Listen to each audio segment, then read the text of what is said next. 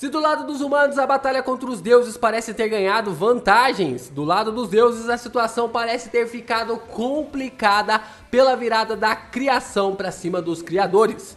Agora, os deuses precisam decidir quem será o próximo deus a lutar contra os humanos e ver a vantagem dos humanos aumentarem ou empatar a partida.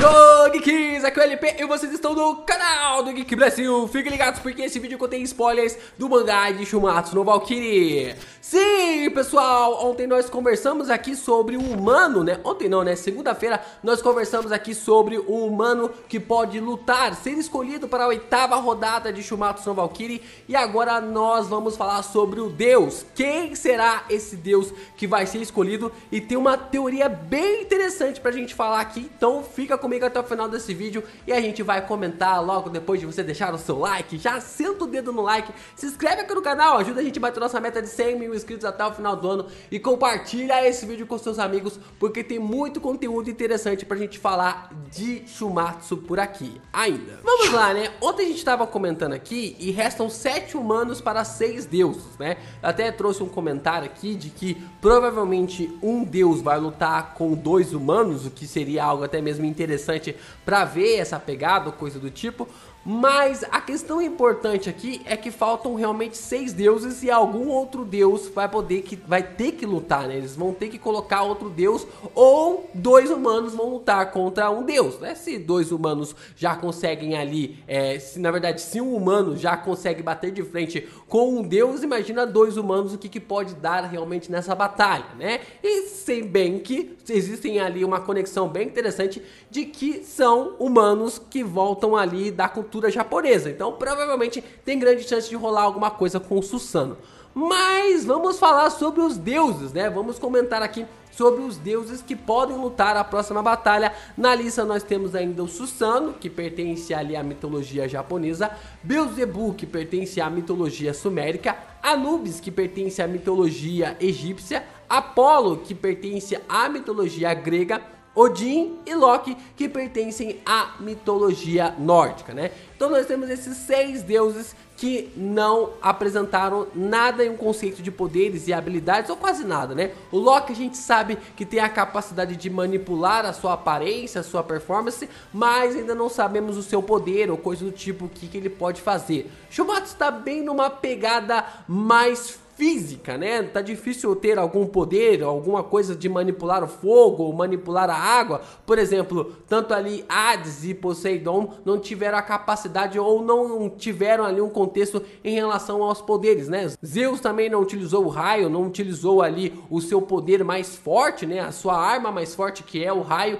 e isso acabou levantando muitos aspectos até mesmo confusos na trama para essas formas de como os deuses iriam lutar ou coisa do tipo, né? Então ficamos realmente nessa questão sobre quem pode ser o escolhido dos deuses para a oitava rodada de Shumatsu no Valkyrie. Bom, e como eu falei pra vocês no vídeo de segunda-feira, provavelmente o Zeus deve estar extremamente irritado com a derrota ali de Hades, né? Ele realmente não queria que o Hades fosse derrotado, principalmente porque ele iria perder mais um irmão por causa da morte ali do Poseidon e ao mesmo tempo os humanos iriam passar na frente ali da batalha, né? Iriam passar na frente do placar pela primeira vez, já que os deuses abriram dois pontos de vantagem nas primeiras duas rodadas os humanos foram lá, empataram, os deuses passaram na frente, os humanos foram lá, empataram e agora os humanos foram lá e passaram na frente. Então, pela primeira vez, a humanidade está na frente do placar e os Zeus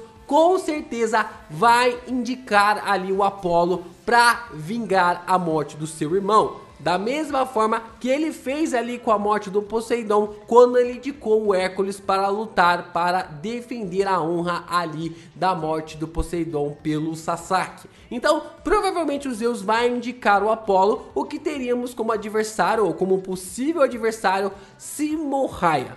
Mas eu acredito que o Odin deve recusar, e é aí que vem a grande surpresa. Ou ele se indica ou ele vai indicar o Loki para essa batalha, para essa luta. Só que temos aqui um porém, né? Temos um porém levantado nos comentários aqui do vídeo de segunda-feira que eu achei sensacional e eu não consegui encontrar o seu comentário para dar os créditos sobre essa teoria ou coisa do tipo, mas eu achei muito interessante o fato de que seria interessante se o Loki se transformasse em Odin e se indicasse como o próximo na batalha.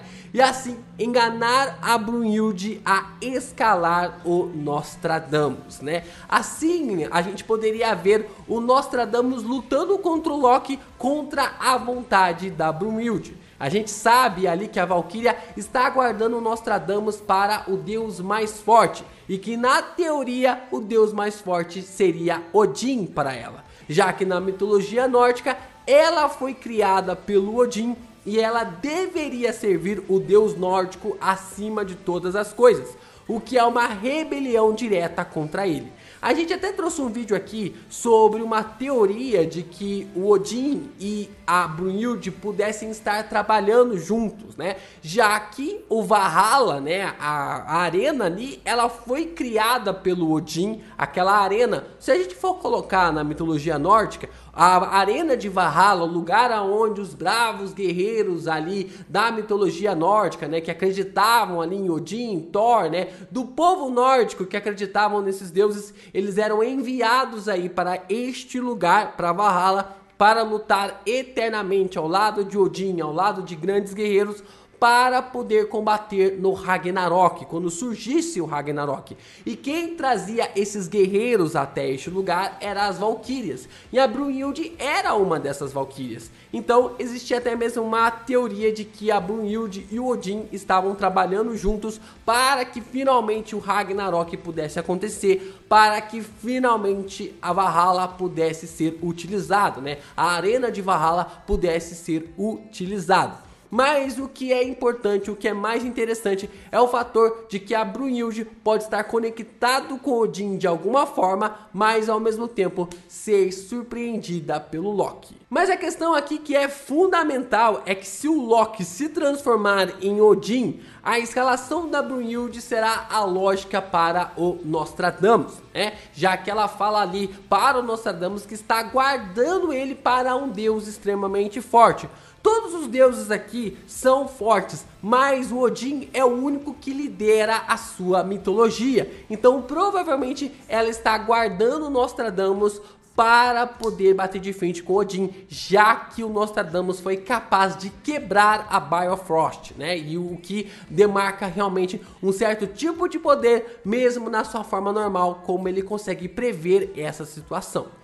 Porém, se na arena se revelar que Odin na verdade é Loki, os deuses terão desmontado o plano da Brunhilde de usar o Nostradamus contra Odin, fazendo com que o hype finalmente fizesse sentido para uma batalha entre Odin e Leônidas, né? Já que tudo leva a crer que Nostradamus está sendo guardado para lutar contra o Odin. Se o Loki mexesse os pauzinhos para fingir ser o seu pai, na mitologia ali nórdica, o Loki, ele é irmão do Odin, mas em Record of Ragnarok, ele é filho do Odin, né? Juntamente ali com Thor. A gente não sabe em qual conceito, né? Na Marvel, o Odin adota ele, a gente já não sabe se isso acontece em Shumatsu no Valkyrie, né, se é adotado, se ele é filho legítimo mesmo, a gente não tem essa ideia, mas o ponto importante aqui é que se o Loki quiser enganar a Brunhilde, ele tem a faca e o queijo na mão para escalar o Nostradamus em uma batalha contra ele. E o hype finalmente estaria liberado para uma batalha entre Odin versus Leônidas, que é uma das lutas que os fãs de Shumatsu no Valkyrie mais querem no mangá. Né? Se tem algum editor que está lendo os fóruns do Reddit, se está acompanhando o mangá no Twitter, se está acompanhando em qualquer fórum que tenha na internet, sempre tem alguém torcendo para a luta entre Odin e Leônidas acontecer. Se Odin lutar contra Nostradamus, podemos ter uma grande luta, mas nada vai ser comparado ao hype de Odin versus Leônidas. Então, tá aqui a grande saída para que o Memura consiga colocar realmente Loki versus Nostradamus e Odin versus Leônidas nas próximas batalhas, ou pelo menos na última batalha de Shumatsu no Valkyrie. E aí, qual é a opinião de vocês? Qual é a chance realmente da Brunilde ser enganada pelo Loki? Vocês acreditam realmente que Nostradamus vai ser o próximo adversário dos deuses? Ou que o Loki vai ser o representante dos deuses na batalha ali em Shumatsu no Valkyrie? Deixe aqui nos comentários pra gente conversar e discutir mais sobre esse tema, porque tem muita coisa legal pra gente falar por aqui ainda.